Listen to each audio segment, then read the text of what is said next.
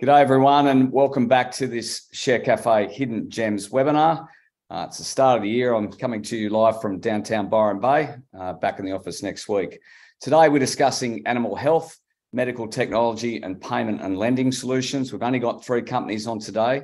Now, if you'd like to see a particular company present this year, feel free to reach out. Um, Spenda, who are on the webinar today, was the result of many investors asking us to get the company on a webinar today and to reach out. So don't be afraid to send us an email and ask for any particular company and we'll chase them for you. Um, also, don't forget to ask questions. There's a Q&A box provided. Don't put your hand up. We can't see you. Type the questions in the Q&A box provided and we'll go from there. So let's make a start. As I said, only three companies today. First up, we have Avecho, ASX code AVE. It's got a market cap around $26 million. We have with us Paul Gavin, who's the CEO. Avecho develops and commercializes innovative human health and animal health products using their proprietary drug delivery system, TPM. Paul, thanks for your time. Over to you. Thank you. Thank you, and, and, good afternoon, everyone, and thank you very much for your time today. So, uh, as you've heard, my name is Dr. Paul Gavin. I'm the Chief Executive Officer at Avecho Biotechnology. Uh, we're a Melbourne-based uh, company with a novel formulation technology called TPM. Now, our background is pharmaceutical drug development for traditional non-cannabis medicines, but the expertise that we have developed over the last 20 years is directly applicable to a whole range of shortcomings that affect the broad uh, global cannabis industry. So today I'm going to talk to you about our pharmaceutical uh, TPM enhanced cannabidiol or CBD capsule that we've been developing over the last uh, couple of years. It's heading into our pivotal phase three clinical trial in Australia this year.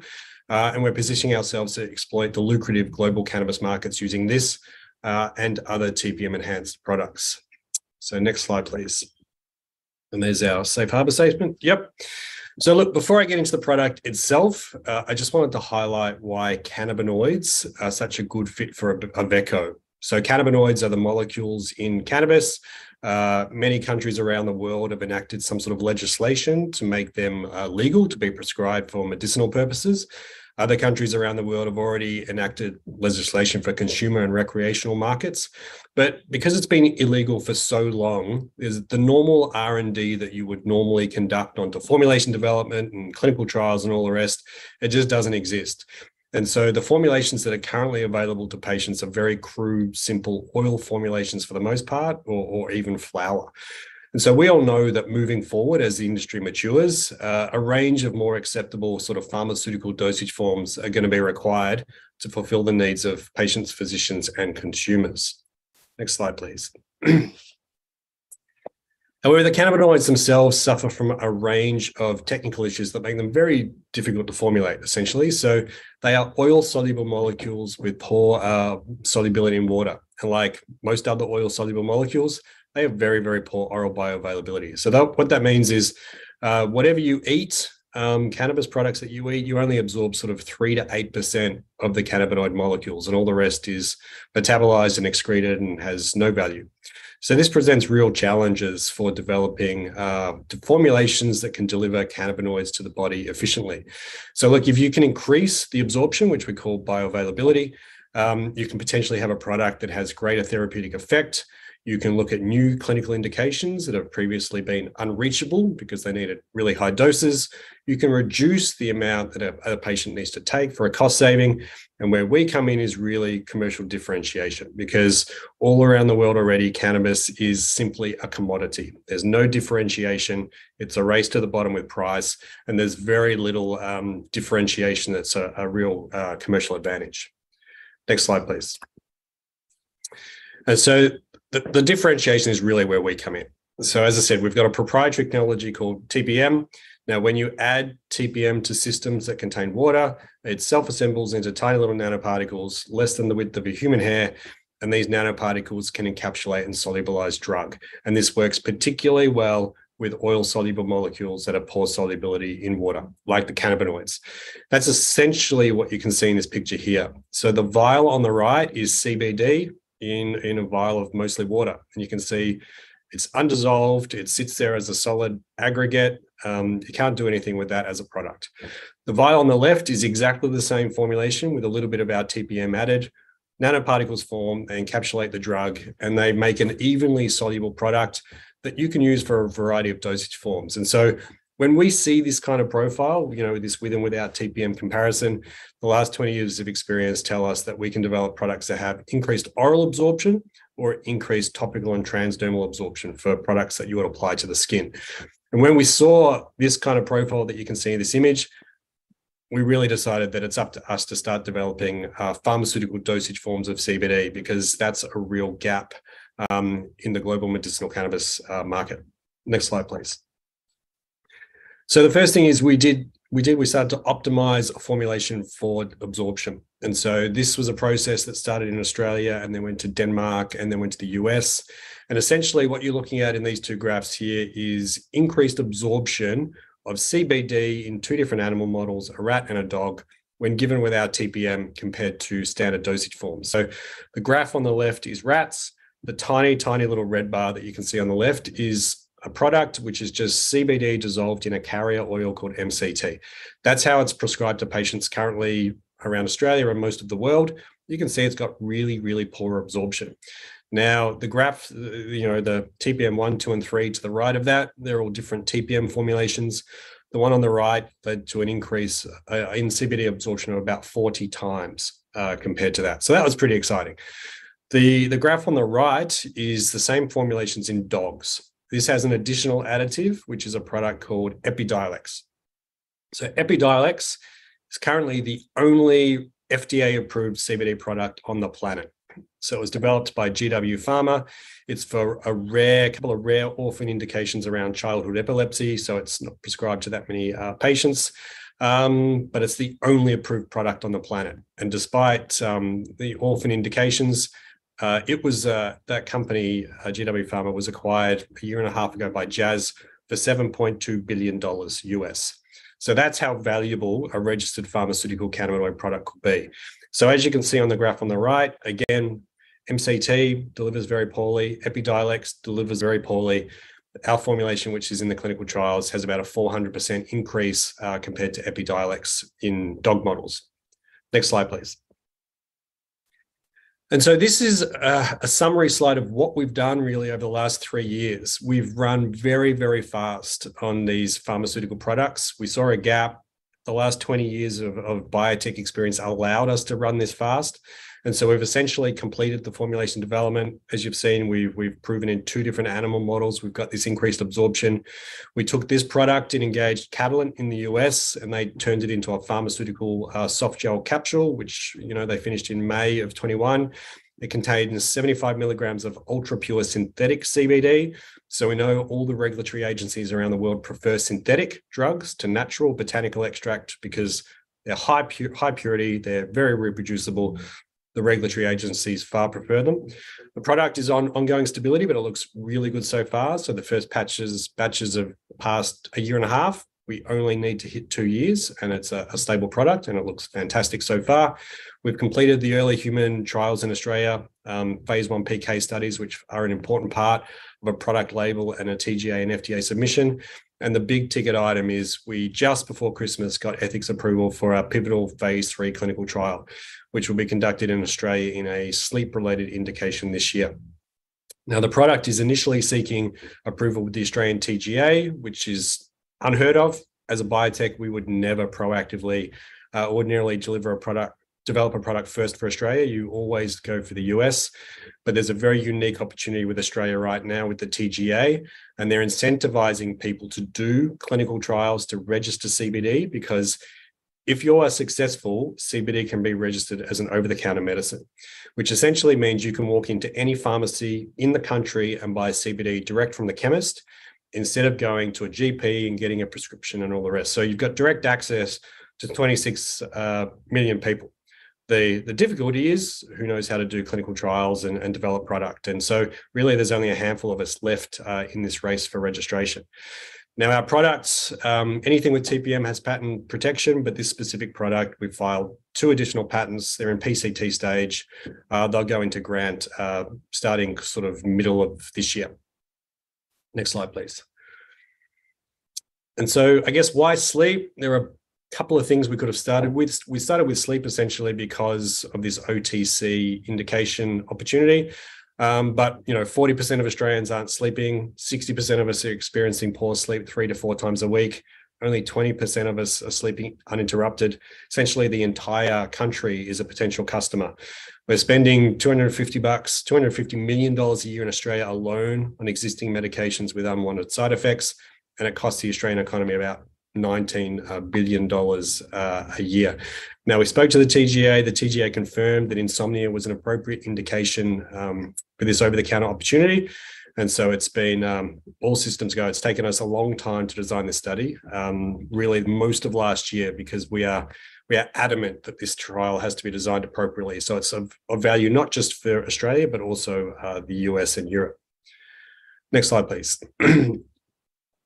And so what does the immediate development program look like? So as I say, we've got three years of work on it, ticking off a lot of the, the goalposts along the way. There are three main pillars remaining. The first is around the, the manufacturing. So we've now got three manufacturers overseas that can manufacture the product. We're about to put the what's called the registration batches down. They are the ones that go into your formal TGA and FDA submission.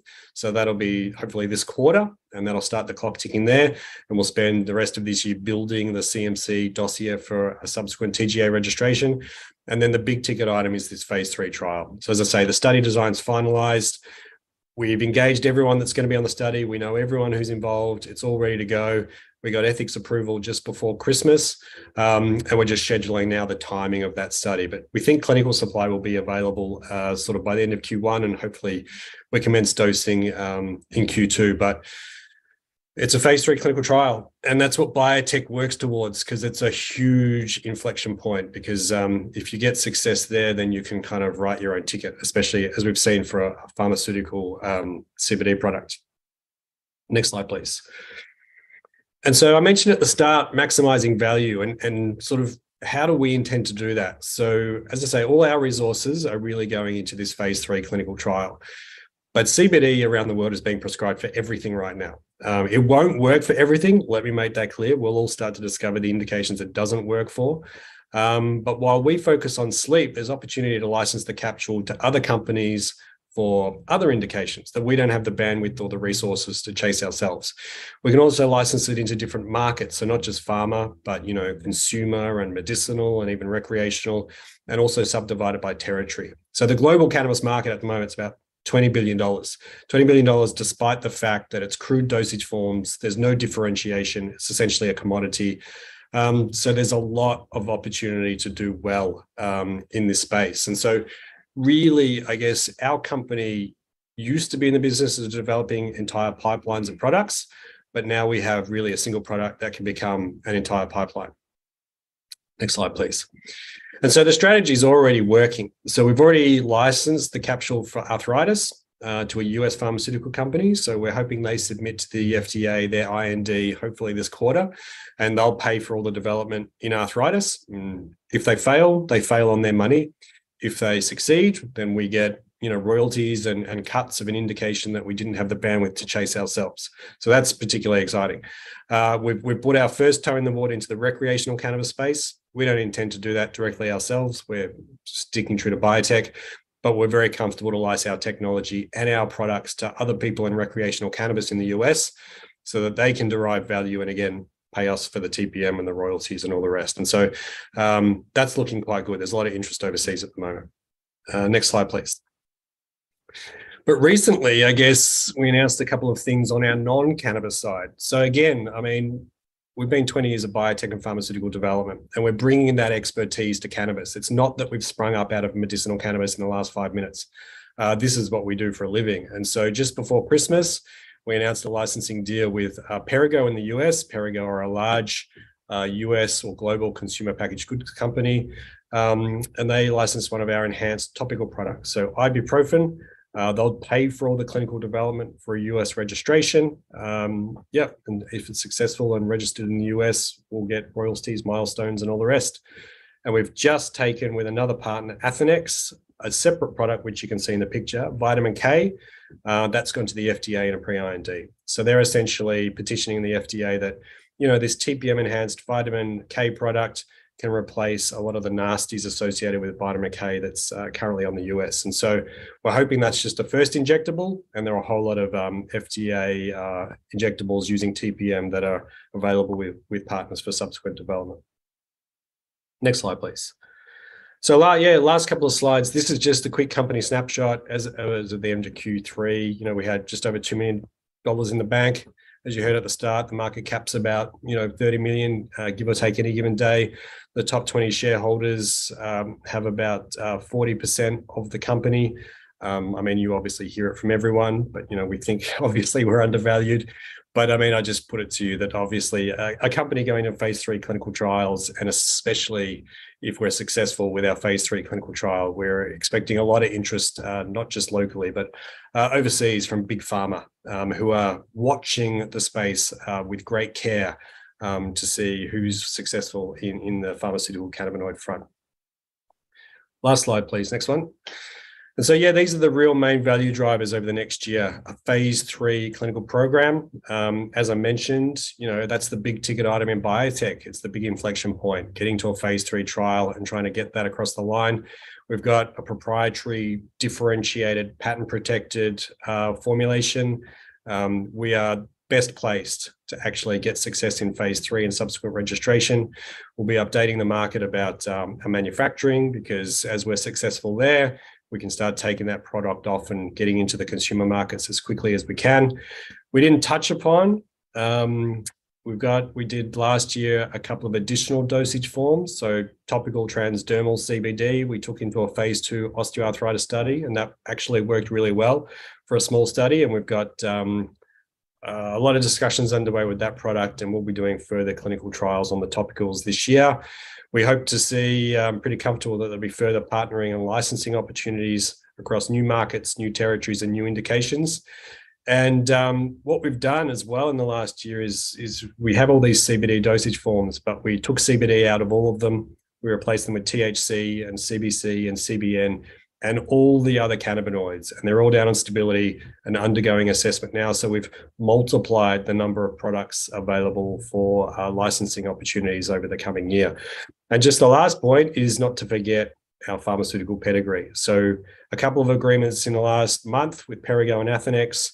There's further interest around further products, which we hope to consolidate over the next um, couple of months. And so before we know it, we're going to have a whole range of products in a whole range of clinical development programs, most of which will be paid for by uh, other people. So um, yeah, thank you very much for your time. And um, yeah, happy to open the floor to questions.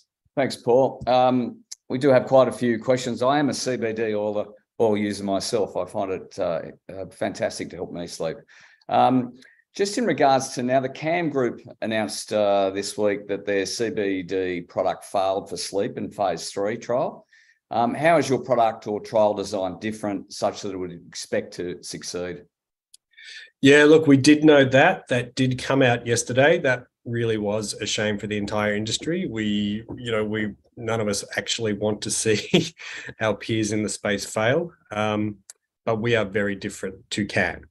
So um, Can, our medicinal cannabis company, Can's legacy skill is is growing, you know, cannabis and extracting cannabis and all the rest. We are biotech and formulation development and clinical trials. That's 20 years of, of what we've been doing. So while I can't specifically comment on the different absorptions between our two products, we know ours has significant increase in, in absorption, but we we haven't actually played with those. But we do know our trials are very, very, very different. So the thing about CBD and all these cannabinoids um, to realize is that Australia, we are all pioneers in this space. So because of what's happened with the TGA and this opportunity for over-the-counter registration, there are placebo-controlled phase three trials happening in Australia at greater concentration for these indications than anywhere else in the world. So everyone's watching, and we're we're all kind of pioneers. Um, but our study itself is much larger than any of the others. So if you don't know what effect size you'll see, or you suspect it'll be a small effect size, you need lots of patients. So we we are going to dose over double the patients that can dosed in their trial to maximize the chance of seeing anything. We have a much tighter inclusion criteria. So CANS patients and some of the others are really kind of mild in severity we've got much tighter inclusion criteria around our patients. So we get much clearer, reproducible uh, signals in the data. The um, we're controlling to a degree for the placebo effect. So the placebo effect is what will kill these studies. Um, I think I did an interview a couple of months ago with cannabis. So they're all subjective endpoints. Um, and if you if you don't know how to control for the placebo effect, it'll kill you when you come to your analysis. Um, and irrespective of all those things, we're doing a higher dose than CAN. So CAN only went to um, 100 milligrams of, CBD in their trial. We're going up to the full 150. So that's even before you account for an increase in absorption. So we've tried to make this study as bulletproof as we can. Does it mean that we are guaranteed to succeed? Of course it doesn't. But if CBD does anything for sleep, we will capture it in the clinical trial design that we've put together. And and Paul, just finally, we've probably run out of time. Um, can you give us an idea? And you mentioned partnership. Can you give us an idea of, of your funding requirements over the next 12 months?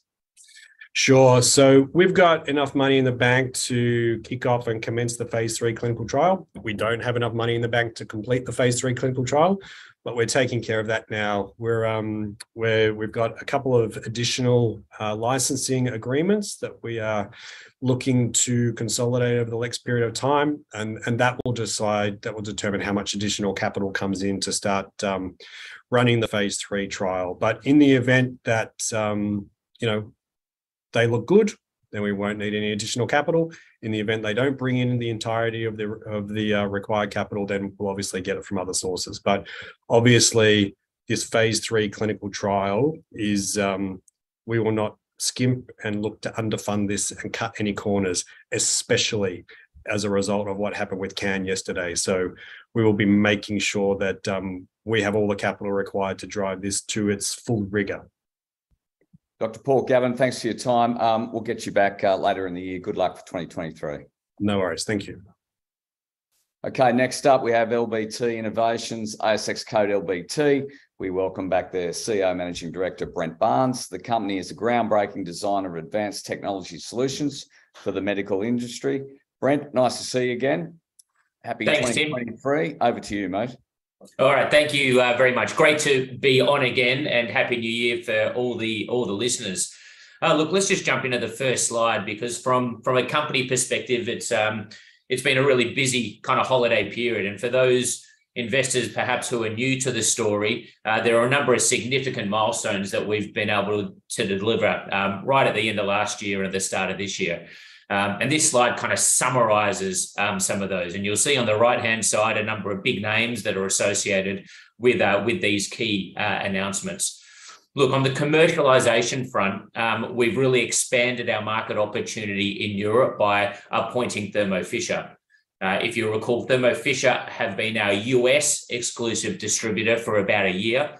And following that really positive start of distribution and commercial traction in the United States, it's been really pleasing to expand that distribution agreement to cover to, to cover all of Europe. Um, and so when you think about where we were focused before in Europe, it was the Germ- Germany, the UK, and France, so kind of three countries. Well, now we're expanding that market through this distribution agreement with Thermo Fisher to cover all the Western, all the Eastern Europe. So it adds about 34 countries to, to that portfolio. Clearly, it's going to take some time and we'll go through the training uh, with Thermo Fisher, but that expansion is, is, is, one that, that is significant. Adds probably another 500 uh, odd customers to our um, total addressable market opportunity. So a big deal there in terms of commercializing uh, and, and expanding our market there in Europe with a really trusted name who's performed extremely well from a distribution perspective for us uh, in the United States.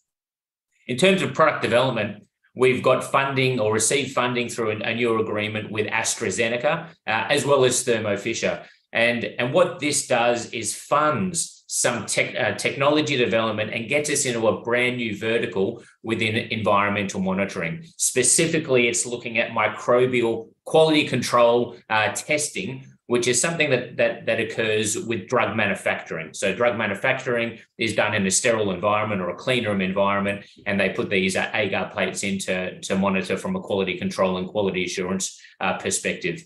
So, you know, look, what we've really achieved just over, you know, the, the end of last year and moving into this year is that we've secured some non-dilutive funding. Um, and it's really to expand our existing platform. So not starting again or not going on in, into any tangent. It's really based on what we've been able to, to deliver on the current platform get funding to expand that platform into new verticals, um, which are in their own right extremely large. And I'll talk about uh, that a little bit more, as well as forming partnerships. Um, and, and in the case of Thermo Fisher, extending an existing partnership.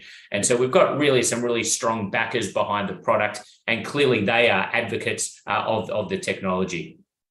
So look, that, that just kind of summarizes some recent key achievements. I don't think the market have, has really understand that. So this is the first time I'm actually being able to, to, to get that into the market. Uh, look, next slide kind of just talks about who we are and what our mission is. Uh, and that's really all about um, transforming the way microbiology practices occur. And, you know, really specifically the Petri dish or, or the culture plate. That's the, the key area. This is a, 130 year old kind of uh, invention, if you like, that um, around the world today is still very manual, manual in the way the plates are processed, manual in the way that plates uh, are interpreted. And so we're really looking to digitize and to bring that kind of technology up into the into the 21st uh, um, century. And our technology disrupts this environment. Um, and from a maturity perspective, you'll get an idea as I talk through where we're at, where we've got a product we're in commercialization when we've got big partners behind us. So we've, you know, we've de-risked.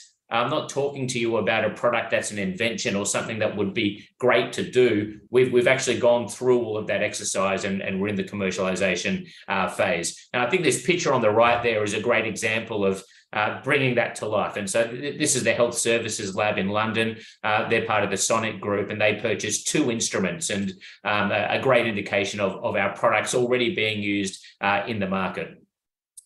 Next slide talks about uh, the market opportunity, you know, only in the clinical space. So I'll talk a bit more about the new market opportunity within pharma, but uh, really our focus has been on, on this core invention is getting into the clinical market um, uh, and, and to that extent, it's kind of infectious diseases. So kind of think a, a urinary tract infection, um, think about um, golden staph identification, think about superbugs and antimicrobial resistance. They're the kind of, um, um, uh, I guess, infectious disease um, disciplines that we're looking to provide automation to.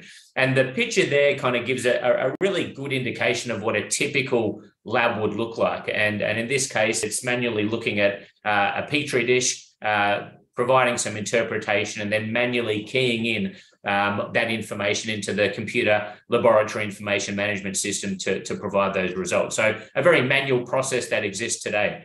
Uh, the, the, other kind of macroeconomic uh, feature that we're seeing is, is a shortage of qualified microbiologists. There are there are just simply not enough microbiologists coming through the university system, and you know that's causing a, an increased uh, vacancy rate. We see that across the board, but even you know pre-COVID, where we've seen it get a little bit worse, uh, it, it's increased to about ten percent of microbiology jobs in the US um, are, vacant at any time. And that's significantly increasing uh, wages. So the average wage now of a microbiologist, depending on their level of, of seniority, is anywhere from 160 to 180,000 US dollars. So, you know, the market's growing, infectious diseases are growing, superbugs you know, uh, are classified as a real issue from the World Health Organization. And so we're talking about a global market opportunity that has not got enough staff, that has not got a lot of automation uh, currently uh, and is and is growing. So a great time to be in this diagnostic space uh, through the instrumentation. And the next slide kind of summarizes how we're leading the way uh, in this digitization. You know, bringing this manual review of microbiology up to the 21st century, where we're uh, really applying a machine vision capability. And that's really what our core invention is. And that's where our IP, our, our portfolio of patents exist. It's the way that we take an image of the Petri dish and how we've trained our algorithms to interpret real time what's growing on that plate. And we're making an active, autonomous decision without the need of a microbiologist to intervene or, or to provide their own in, in interpretation. So it is true autonomous decision making, which is why it's a, a class two medical device uh, from a US FDA perspective. Uh, and we've done all of the clinical trials. And this gets back to my earlier point. around where we're at in the maturity. We've got a platform technology. We've already got um, all the all the clinical trials and all the regulatory approvals in place. A huge publication portfolio now, which continues to grow, and you know the extension of our existing distribution agreement with Thermo Fisher. Uh, following the first 12 months in the US, now going into Europe in an expanded way, really demonstrates big companies uh, and, and their brand uh, and their sales organization and reach uh, behind our product behind the technology, uh, and that allows us to get into many more customers uh, in a in a scalable way. Next slide talks a, a bit more about kind of you know um, what that market opportunity looks like, um, and and, um, and specifically through this relationship with Thermo Fisher. Um, you know, we've increased uh, from 2,000 labs as our addressable market to 2,500 uh, labs, and that's adding these additional 30 countries in, uh, mainly, like I said, uh, all of Eastern and all of uh, Western Europe. And so, you know, this partnership, while it was signed at the very end of last year, and that's going to take some time all of our energy is going now into into launch planning you know and how we're going to effectively launch the product with thermo fisher uh, throughout this calendar year and where you know there's going to be a, a team of us that will go across to uh, to Europe uh, this month and, and certainly over the core uh, over over this current quarter in a really focused way to, to perform all of the the onboarding and the training and, and clearly some of that's done uh, remotely uh, as well. Next slide, please. And look, we have had commercial uh, traction. It's been a tough uh, couple of years uh, throughout COVID. Um, and really, you know, during that time, our customers uh, were the ones doing all of the COVID testing. And so effectively, you know, our ability to sell and get in to talk to our customers were shut off for a couple of years. That allowed us to really kind of focus on some of our technology development the the APAS Pharma development kind of being one there, as well as our antimicrobial resistance uh, module. So we we didn't waste that effort. We we reutilized our resources where we believe this is going to accelerate growth over over future years. But it did constrain our ability to gain that commercial traction in that time period. Um, what we found is that when we appointed Thermo Fisher in that first kind of year, um, our sales cycle is typically 12 to 15 months. Well, they purchased five instruments within that first uh, first year of being appointed, um, and we're starting to see a step change uh, at the end of last year, moving uh, you know selling seven instruments. We've now got an, an install base globally of 13, and we would expect another step change as we kind of progress that commercialization moving uh, throughout calendar year 2023. The way the revenue model works is that there's an upfront capex, so the end user price is 300,000 US dollars. That's for the instrumentation itself. And then there's an annual software license of in the vicinity of, of, of $30,000. So that's an annual license that comes uh, directly to us. And so, you know, the way that Thermo typically sell this is on a on a five year contract um, it bundles service and just gives that peace of mind to the customer. And so when you think of when we sell an instrument, the value across that period of time uh, is, is around that 450,000 uh, US dollars. So that's that kind of end user price. So, you know, an attractive revenue model where we've got some upfront uh, capex for the customer, uh, but then there's that annuity stream, which we've already expended all of the money developing the product. Um, and so that comes directly uh, to, to us as the company. Next slide and we've come a long way. It's uh, it, it's taken uh, certainly much longer than we expected, and cost us uh, more than we would have expected as well.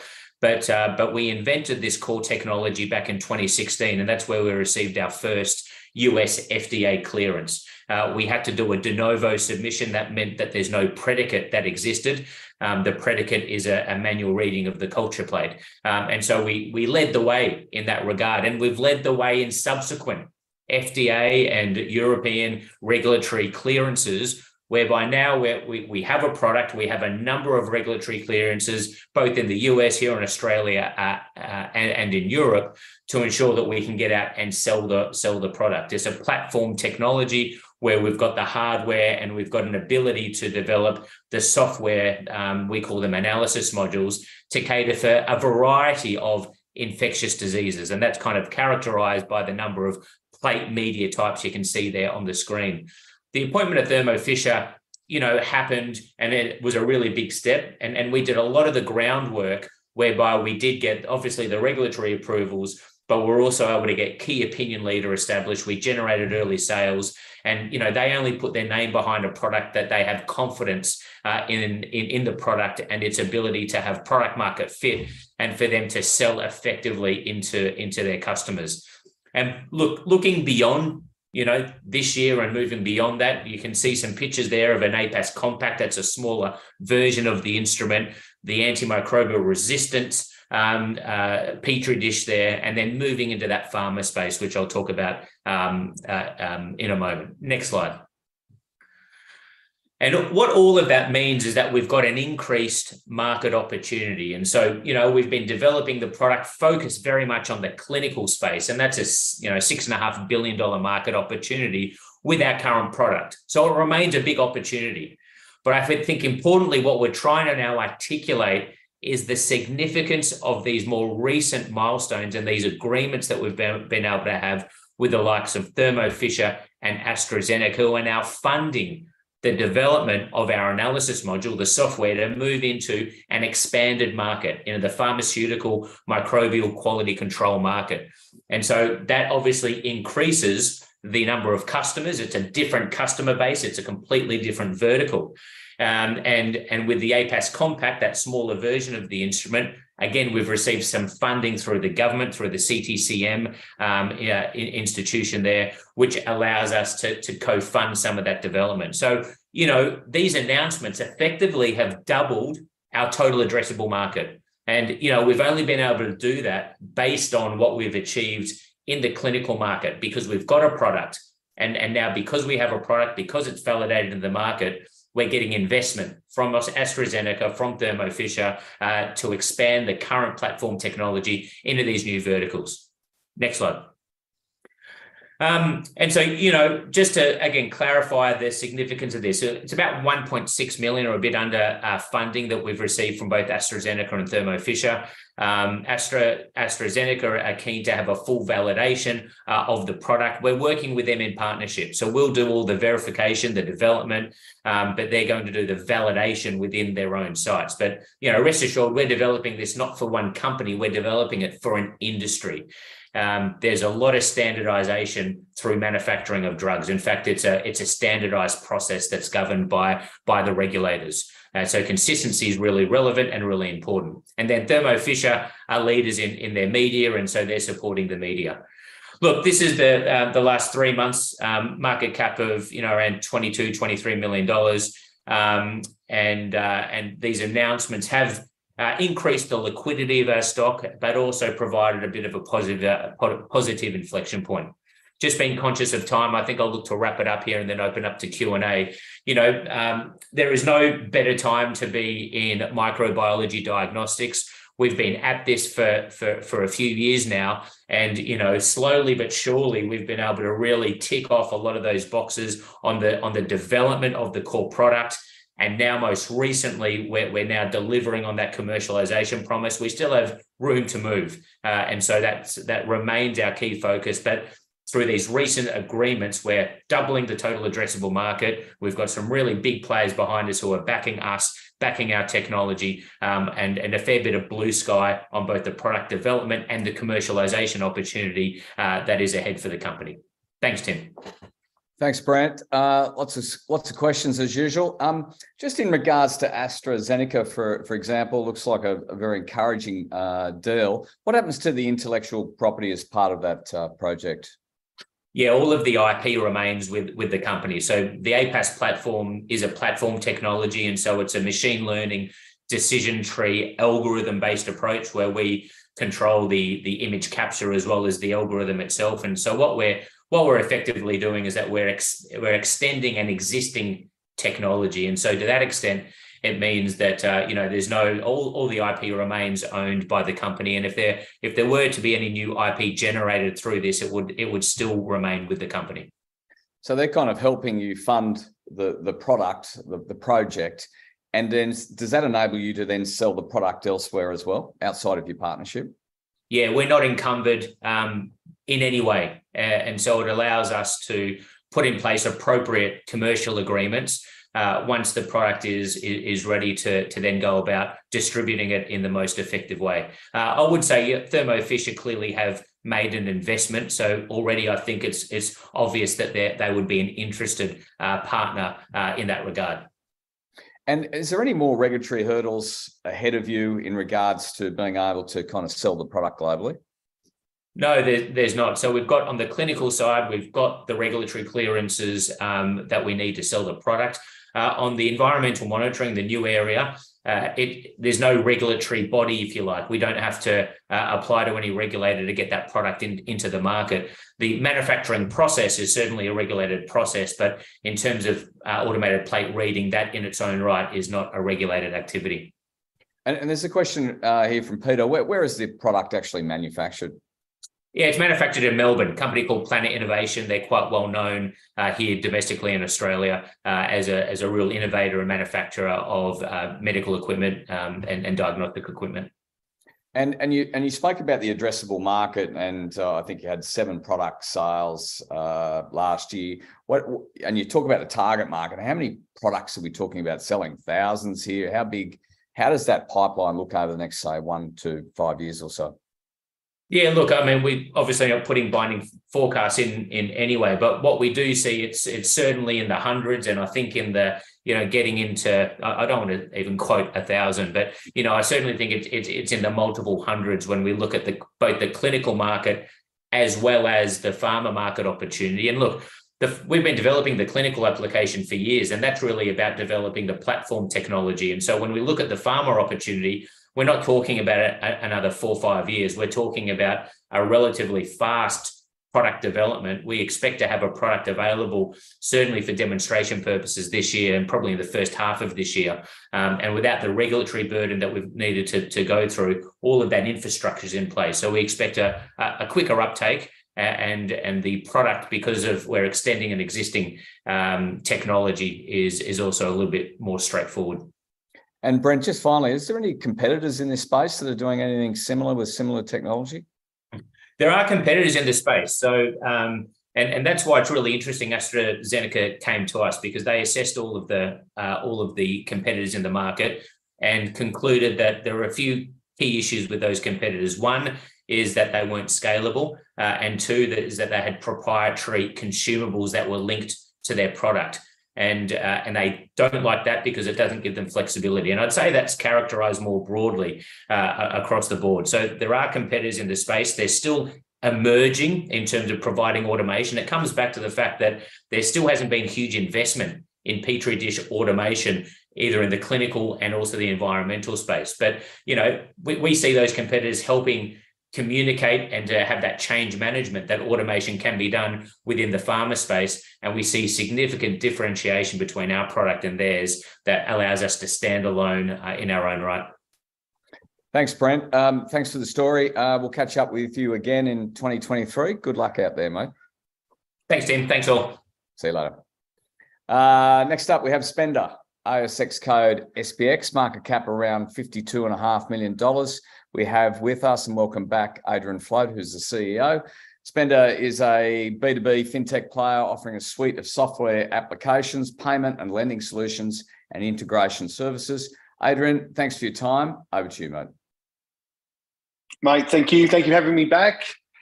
Um, yeah, look, uh, as per the intro, my name's Adrian Floate. I'm the managing director of, of Spenda, ASX code SPX. Um, I suppose today we're going to go a little bit of a journey of who we are and, and um, maybe a little bit on who we're not. So, um, Spenda's a in the business, if you like, of building and funding resilient uh, digital supply chains. And we do that in partnership with our customers. And I suppose some people would characterize us as a fintech. And we certainly um, would, uh, you know, appreciate that label, but by the same token, we would certainly not characterize ourselves as a buy now, pay later. Um, next slide, please, or two slides, as it were.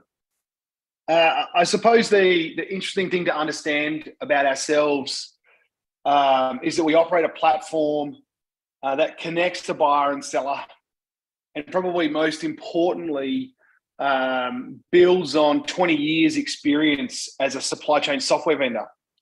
And really, probably the key thing to take away um, about that journey is as a supply chain software vendor, we got really good at sharing transactions between a buyer and seller, at integrating those transactions into uh, the respective trading partners' financials.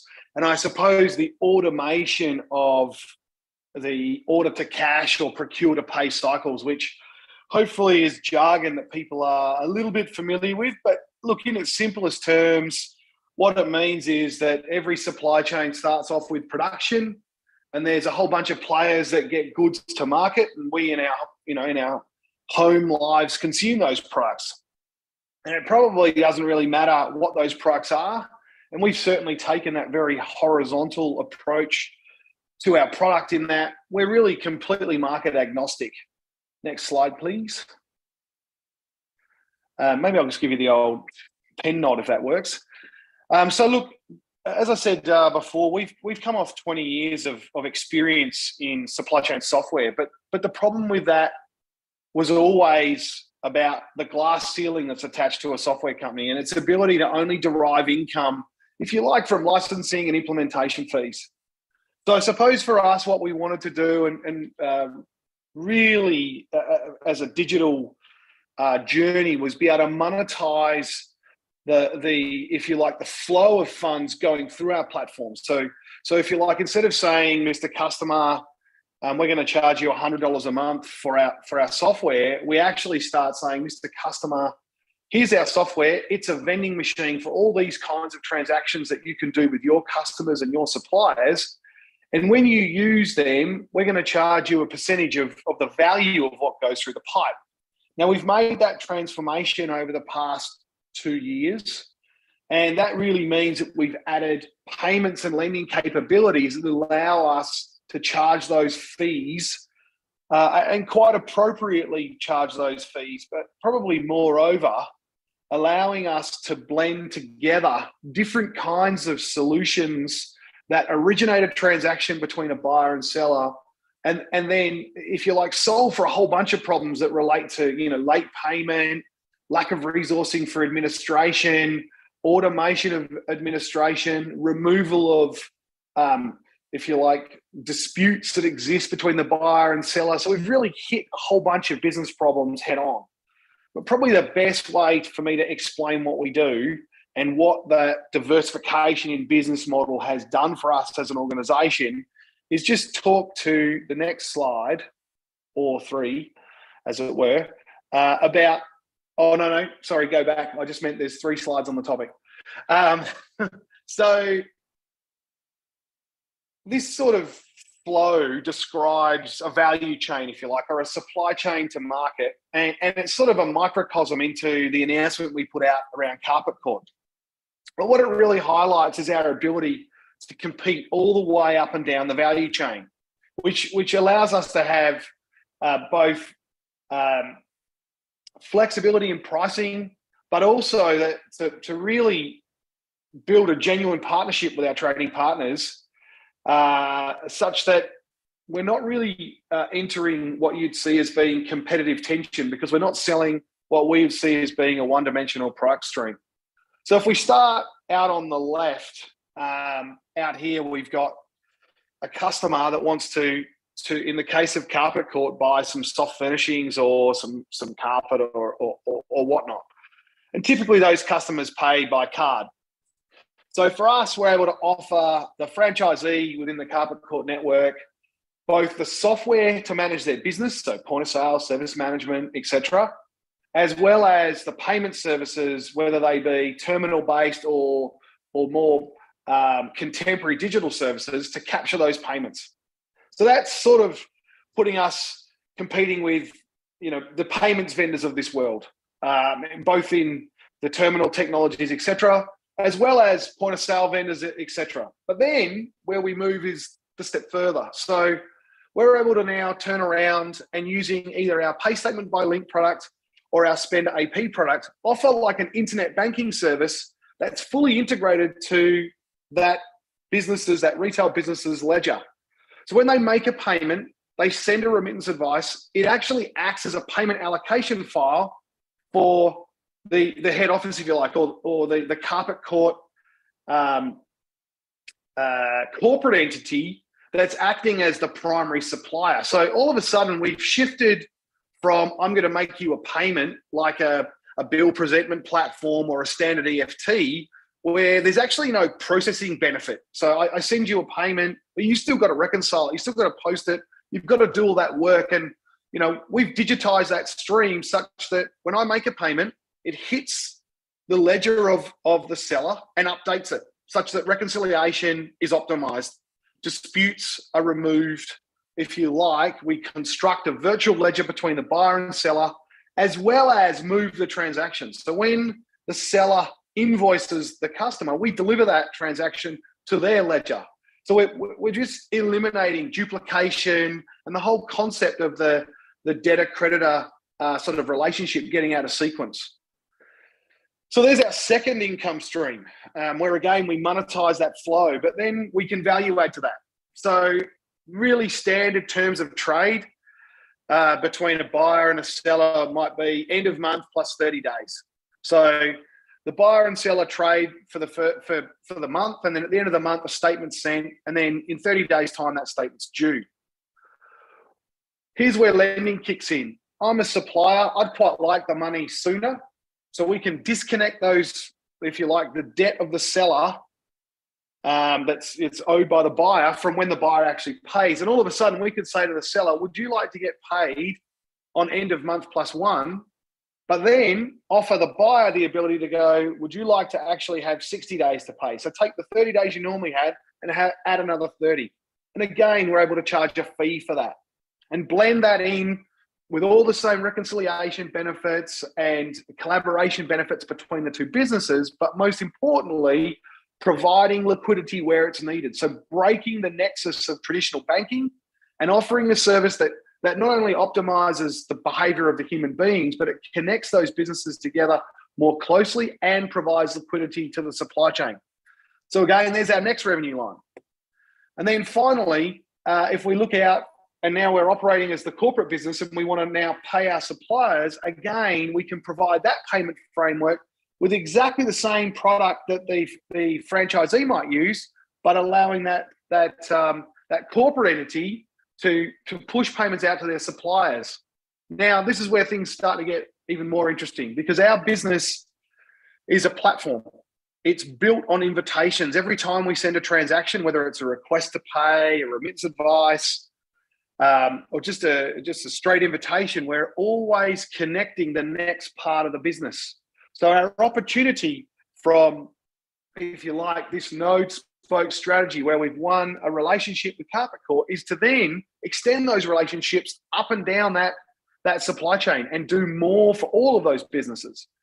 Now, in our most recent announcement, we obviously, um, you know, announced that this had a minimum transaction um, uh, fee income to us of 50 to 70 grand. But it's important to note that only related to the first part of the flow, just that, that payment going between the store and the head office. It had nothing to do with anything else I just mentioned. So, nothing to do with payments from the consumer, nothing to do with extended lending for uh, the store, and nothing to do with supplier payments or otherwise. Now, what we would expect is that those income streams, in and of themselves, are all in differing stages of implementation right now.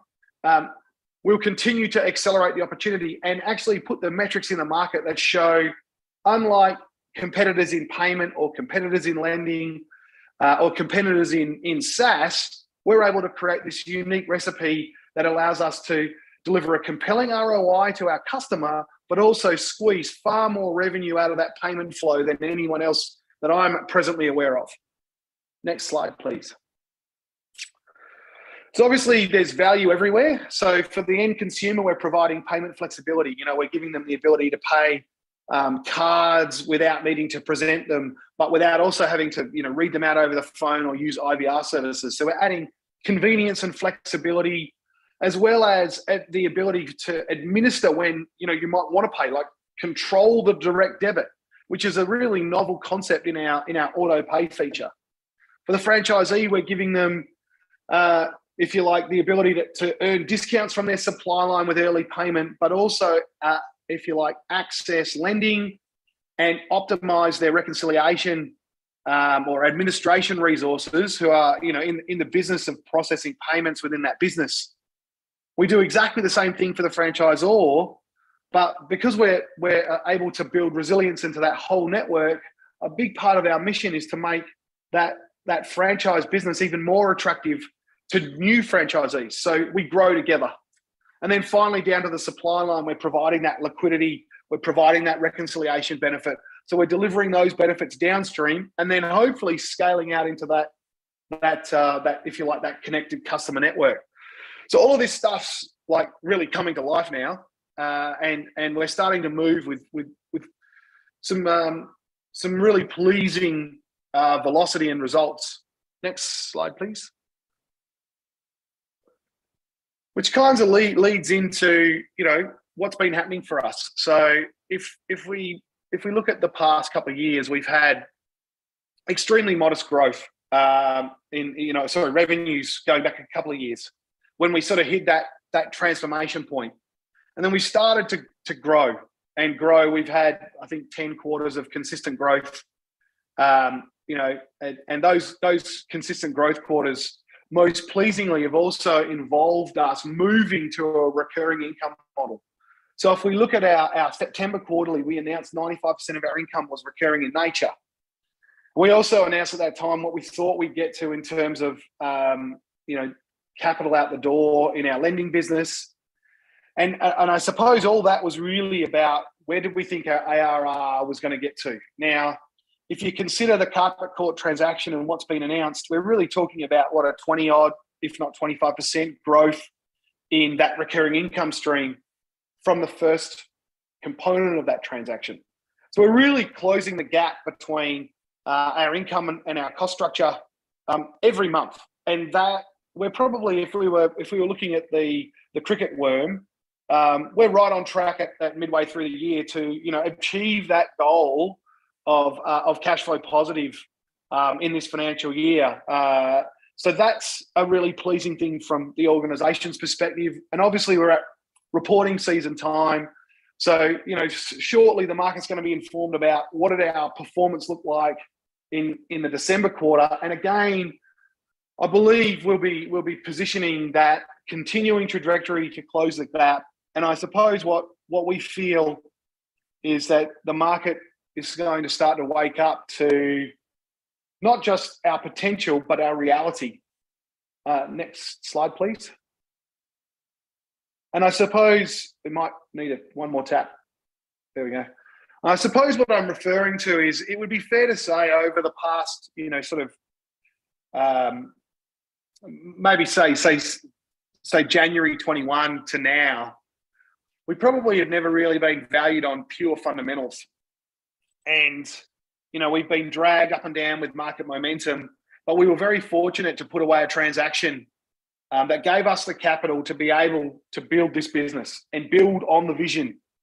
And I suppose while we've continued to grow, the market's not necessarily been particularly kind to us. But obviously, we're seeing some resilience come back now uh, into the share price.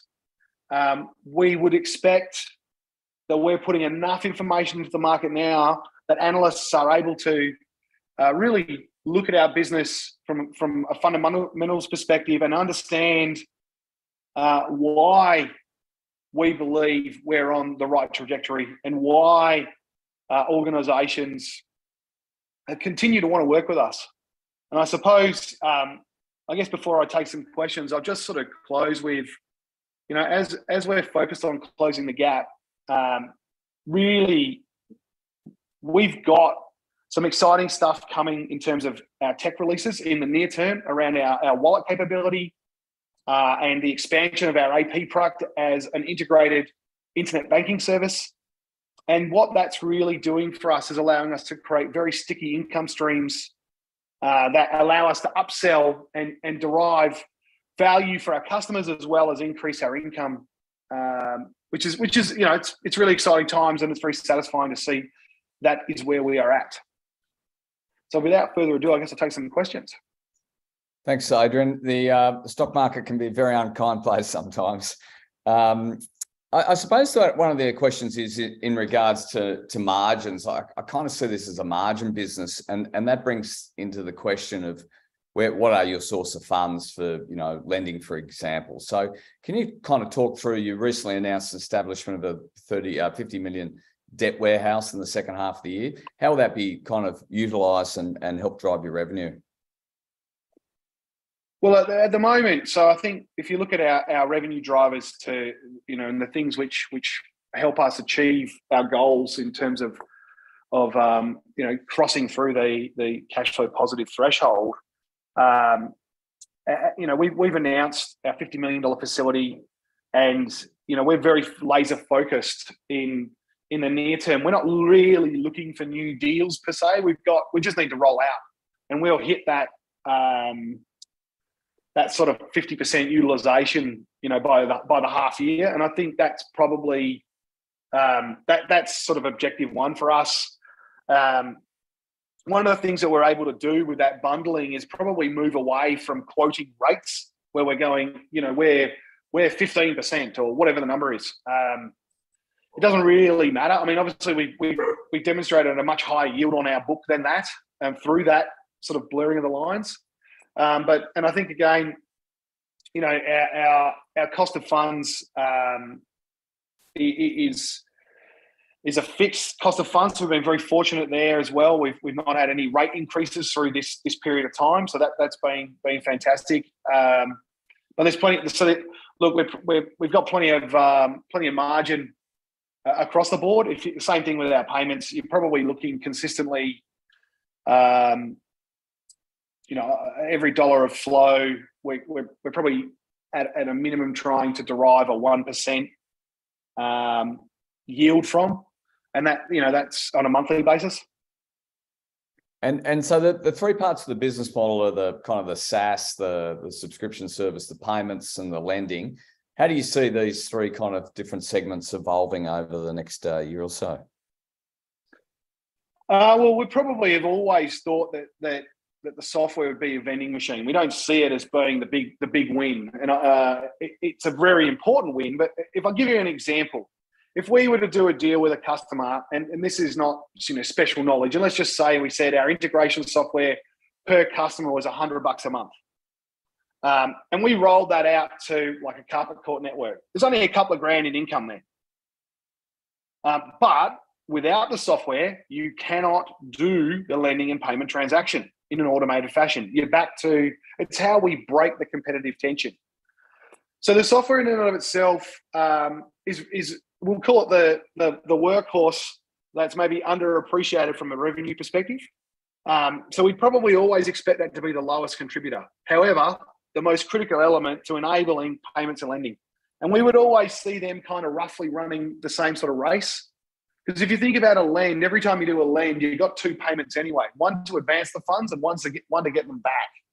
So those ecosystems are constantly working with one, one another. We've got sort of two um, loan management stacks in our Spenda lending services. And then the Spenda payment services and lending services are constantly interacting. So they feed off one another.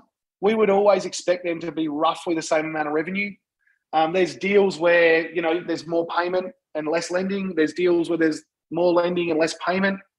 It's part of the reason why we started talking about sort of total flow uh, through the platform because um, that dynamic can change. But importantly, we don't care if you how how you're moving the money through the platform. We're going to monetize it one way or the other. And, and Adrian, you got um, some fanatical shareholders. I, have taken a screenshot here out of, out of Twitter, and it was a a list of things to ask, and uh, one of them is in oh. regards to kind of some of the franchise buying groups that you're you're targeting in particular. Could you could you address that if you may? Yeah, I mean, look, we've we've made it really clear that for some time now that our strategy was node spoke. Um, so node being the guy in the middle, the spokes being the people that they trade with, or in the in the case of, of Carpet Court, Carpet Court National Office is the node, and the stores are the spokes. Um, there's no question that we're we're uh, chasing down other um, opportunities in that same space. You know, there's there's a and there's also no question that we're also delivering other um, you know, franchise groups at, at differing scale. And I think the thing to understand for us is the changing nature of material. So the faster we accelerate revenue, the less we're going to talk about the opening of every envelope. Um, obviously, Carpet Court is a, was a was a significant achievement, and we're extremely thankful for that win.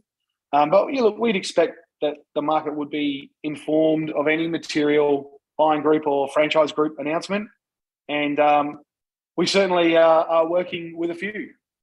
And and I've just got this kind of list here. It's kind of uh eBev, Fresh Supply Company, GrainCorp, James Tyler. Are they the sort of names that uh as I said, you've got some fanatical shareholders, so they don't miss a trick. Are they the sort of uh groups you're still in discussions with? And, and is there any update on those sort of um deals? Yeah, oh, look, I mean those those those names all sound pretty familiar to me. Um, I think that that the key thing is some of those. Yeah, I mean that when when you've got a customer and it's steady state, you know the materiality of those things sort of fades to back to black. Uh, so you, we'd probably only be looking at updating the market if there was a material change. So if we if we if we were to lose a big customer, um, but we're we're not anticipating that. Um, but those names are you know sound like some of the people we we we, we are working with or or um but there's certainly you know there's there's deals that aren't on that list that are between us and, and and our customer. And as i said before our pipeline is is is just about delivering into. So to hit our revenue goals to hit the goals that we want we just need to deliver. So it's it's a you know and we would hope to be sort of halfway done with Carpet Court by the end of feb. And and part of that from a from the business perspective is, is is balancing our own internal capacity. So a lot of the things that we're looking at is how do we do this over time um, such that we can can implement effectively uh, and and meet the customers needs um, concurrently with you know our own internal capabilities because you know as a growing organization you you tend to have um, a core of expertise and, and and you've got to spread that knowledge and be willing to you know, let people make mistakes, um, learn and hope they learn from them uh, and learn quickly. So, you know, we're, we're probably past the fail fast mentality now and more into the execute fast and get better and better at that. And Adrian, just a final question. Um, overseas markets, is it that a, a, a bit of a step too far at the moment, given your focus here in Australia? Oh, maybe not. Um, look, uh, there's, there's no secret we've got a structure um, in in India and a structure in Singapore. That's that's not that's old news. Um, it's important to understand that that there's licensing obligations in different markets, and standing those up is very important.